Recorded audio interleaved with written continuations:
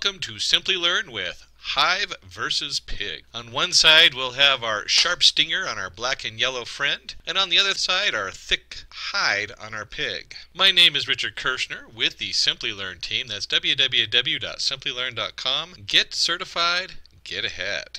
As we all know, Hadoop uses MapReduce to process and analyze big data. Processing big data consumed more time using traditional methods. Hadoop MapReduce was used to process big data faster. And you can see the before thing where we had computers all over the place, each one doing their own little thing, and really hard to track any one big piece of data on there. So processing big data consumed more time. And then with the MapReduce, afterwards, processing big data was faster using that setup with the map and reduce. And there is a specific code, map map and reduce, although learning to think in map and reduce is just as important. So map and reduce is primarily implemented using Java codes. Lengthy complex codes were written by programmers to process data. This proved to be disadvantaged for users who were non-programmers. To overcome this issue, Hive and Pig were introduced. And you can think of your shareholders at a meeting or the uh, CEO of the company. They might know enough to write the programming script, but they don't have the time. They don't have the time to sit down there and write 120 lines of Java code every time they want to look something up. So what we're going to do today is we're going to cover the need for Hive and Pig, what is Hive and Pig? HiveQL, or HQL a lot of times it's called, in Pig Latin, that's a terminology for the languages, data models, execution modes, features, and commands. So we'll start with the need for Hive. Facebook found it hard to process and analyze big data, as not all the employees were well versed with high level coding language. So, again, imagine you have the manager who's working with all these different people and he needs to go in and do a quick query and he can't. The only way he can do it is to call up the programmers and have them take a spot out of their day to write the query for him. And then, of course, if he's like studying something, that could be a real big problem. It become a half hour research and query into what's going on becomes days. So the solution, they required a language similar to SQL, which was easier to write. Hence, Hive was developed with the vision to include the concepts of tables, columns, just like SQL. So just like your SQL query language. And you can see here with the Hadoop MapReduce, poor guy is uh, sweating, I guess, or crying backward upside down. And then once they have SQL with Hive, you know, very happy guy solution. What's nice about putting Hive and designing an HQL to mirror the SQL is that a lot of people already know SQL. You know, so if you do have a shareholder who's looking something up in the database, they probably know the basic select star from table from database. So the need for pig, where did pig come from? So if that's where Hive came from, where did pig come from? Well, similarly, Yahoo also found it hard to process and analyze big data using MapReduce, as not all employees were well versed with the complex Java codes. So just like Facebook was having a problem, so Yahoo was too. And the solution, there was a necessity to process data using a language which was easier than Java. Yahoo researchers developed Pig, which was used to process data quickly and easily. And you can see here again the, um, the poor manager sweating it out, trying to find out the information he needs to do his job, and the solution Pig, and now he's nice and happy. So what exactly is Hive? I mean, we've sort of talked about it, but let's go a little bit more in detail. Hive is a data warehouse system which is used for analyzing large data sets stored in HDFS. So here we are with a huge Hadoop file system uh, spread across maybe 10, 20, 100 computers. And then Hive uses a query language called HiveQL. And a lot of times you'll see that abbreviated as HQL, which is similar to SQL. So they mirror each other. That makes it really easy for someone who already knows SQL, very common, to come in and switch that query over to HQL especially when you're already backing up a lot of your uh, SQL databases that you may be running on your enterprise machines into your data warehouse. So you're already using SQL, moving stuff over. So it's not a big step, and it's very useful to keep those um, similarities together. So what is Pig? So if Hive works on SQL, what does Pig do? What is Pig? Well, Pig, like Hive, is used to go over a data warehouse system, and it's used to analyze large data sets stored in the Hadoop file system. Now, where a difference is it is about data flow. And the data flow is then used to analyze the data in Pig. Let's look at the HiveQL or the HQL so we can see what the actual properties of these two are. Hive Query Language, or HQL, HiveQL, is a query language used by Hive to process and analyze data. Declarative language, which is exactly similar to SQL, And HiveQL works on structured data. And at this point, let's go ahead and bring up the Apache website. And since Hive is now part of the Hadoop framework, you can go to hive.apache.org and you can look up Apache, uh, the Hive on here. You'll start seeing references for Beeline. Beeline is the update to Hive. Beeline has everything Hive does in it plus some new features.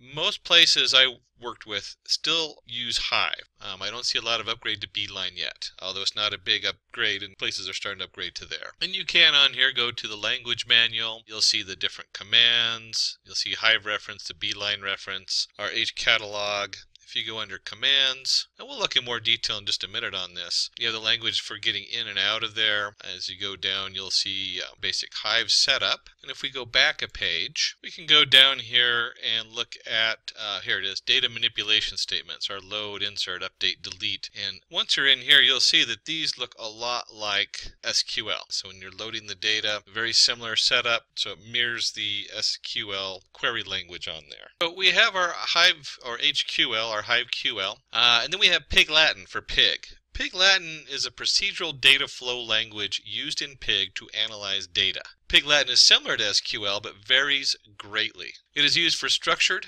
semi-structured, and unstructured data. 10 lines of Pig Latin code equals about 200 lines in Java. So when looking at MapReduce for either one of these, we might be talking just a few lines of code versus uh, a couple hundred lines in the MapReduce Java setup. And just like we looked at the uh, HiveQL, let's go ahead and look at the Pig Latin one and pull up their website. And just like we had hive.apache.org, you can go pig.apache.org look at the open source on here. And then they have like the news, the releases, and you can go in here and also look at the actual um, script language. And we'll go down here under the read the documentation. You'll see an overview. You can actually do the getting started on here, or Pig Latin basics. And because Pig Latin isn't already based on something we know, such as SQL, like HQL is, uh, it's a little different. You'll see that you have uh, some different setup, and we'll look a little closer at that when we get into some of the couple basic setups on here and how they work. But you can see here there's full line of commands in here, and you can skim through the, all the commands. Some of them would look familiar, like load. You probably understand what limit is. You limit your returns to like top 10, that kind of thing. So let's go ahead and drill down a little bit into the language and let's look at the Hive data model. So in the Hive data model, we have tables in Hive are similar to those in the RDBMS. We have our partitions. Tables are grouped into partitions to group the same kind of data based on the partition key. And then we have our buckets. Partitions are further divided into buckets for better querying. And what's nice about this is if you already have an SQL server running on your enterprise computers and you're backing that data up into your Hive setup, then you already have all your data and tables and everything defined. And that makes it a lot easier. Same querying coming over with just a few minor tweaks to alter it to the HQL. With Pig Latin data model, we have what we call an atom. Atom is a similar value of primitive data type like integer, float, string. It is always stored as a string. And you can see we have 10 or 50, so it doesn't matter. The atom is going to store those as one or the other. And then a tuple represents a sequence of fields. It can be of any data type. It is same as a row in the RDBMS. So you can see here we have a string and we have a uh, integer going in there, TED50, and that's our tuple. And then you have a bag. A bag is a collection of tuples. It is the same as a table in RDBMS. It is represented by the brackets in here. And then the map. Map is a set of key value pairs. Key is of character type and value can be of any type. Is represented by the square brackets. And you can see under the map how everything is kind of combined. So you have your name Mike, your age 30, so you have your uh, bag, you have your setup in there which is all connected to the atom, the tuple, and the bag. So when we talk about execute modes, Hive execution modes. Hive operates in two modes depending on the number and size of data nodes. Uh, we have the local mode. It is used when the data is small and when one data node is present. And you can look at that as uh, you're only doing a small amount of data on your computer. You're testing out what you're going to do on the larger data set to see how it works and make sure everything works correctly. And then you have your map reduce mode. It is used when there are multiple data nodes and the data is large. And in pig execution modes, depending on where the data is residing and where the pig script is going to run, pig works in two modes also. And to no surprise, we have the local mode in this mode, Pig Engine takes input from the Linux file system and the output is stored in the same file system. So you get a little bit different here. We're looking at the Linux file system versus the uh, local Hadoop single node. And then we have MapReduce mode. In this mode, queries written in Pig Latin are translated into MapReduce jobs and are run on the Hadoop cluster. Pig runs on this mode by default. And if we're going to continue to compare the two and see how they stack up against each other and why one would work and one wouldn't for certain setups, let's go ahead and look at the features. So in Hive, used by data analysis. We talk about Pig, used by programmers and researchers. So you can think of query versus uh, researching the data. They both are kind of similar. There's a lot of overlap there. But that is the basics, is usually who's going to be using it and why. Hive query language is a language used, so we have HQL or HiveQL. Pig Latin is a language used for Pig. Now, Hive works on structured data, does not work on other data types. This is very important. This is very key, one of the key differences between them, because PIG works on structured, semi-structured, and unstructured data. And you can think of it this way, Hive is great for querying a database, tables and columns and rows, where PIG, when you start getting into word count and analyzing, in this case, Facebook posts or postings that people have written, you start getting into the need for something like Pig Latin, which does a little bit more and different than the HQL or HiveQL. And then Hive works on the server side of the cluster. So anything you do goes through that server side setup, where Pig works on the client side of the cluster, meaning that the code comes through, is uh, compiled, and then applied to the cluster and executed. Hive does not support Avro, and it really doesn't need to. Um, Avro is the language which kind of sits and allows other languages to access it. Because it's a query language, usually you send your query off and you designate it to Hive, and once you get the query back, you process it with whatever you need to, or you just look at the results on there. Where Pig supports Avro, because a lot of times what you're pulling, when you're doing like say word counts or analyzing documents, that is going to go into some other programming language. And so Avro is that nice layer in between that lets Pig Latin go into whatever you're working in.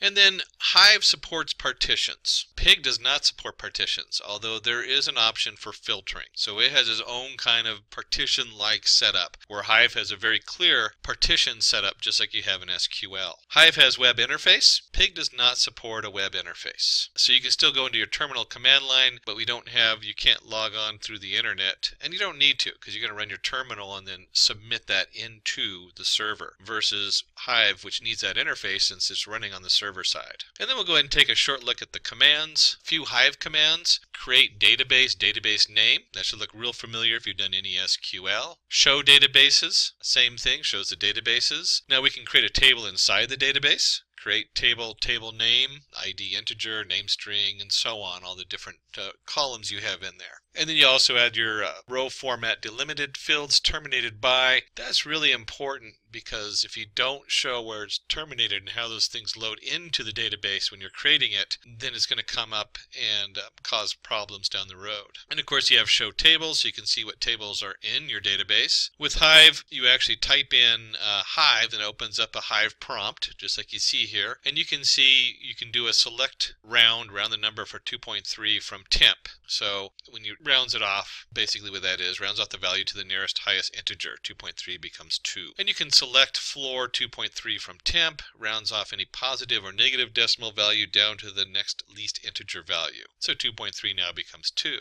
And you can do select ceiling 2.3 from temp. This function is used to get the smallest integer which is greater than or equal to the specified numeric expression. Now that's just some basic uh, rounding off features. Again, these are all stuff you could run in SQL, and this language will look just like your SQL language or very similar to it. This way, if you're using SQL on your main server, as you put your stuff into the data warehouse, you can directly mirror those tables, those um, databases, the tables, the columns, and even your selection. And when you create those queries, you almost bring the queries straight over into Hive. It makes it very versatile in a company and very easy for the top management or somebody who's not a programmer to go in there and do these basic queries. And even somebody who is a programmer to be able to do these basic queries might use this to save a lot of time since it's so fast to put together a, a query line. Now we'll look at a few pig commands. And one of the biggest things I find going from into pig is doesn't really it mirrors some things. You start to see some of the terminology you might see in working with Spark or something like that where they talk about bags and tuples and things like that. But it also is its own language. It makes a little a little bit more of a learning curve a lot of times in a company. And you can see here we have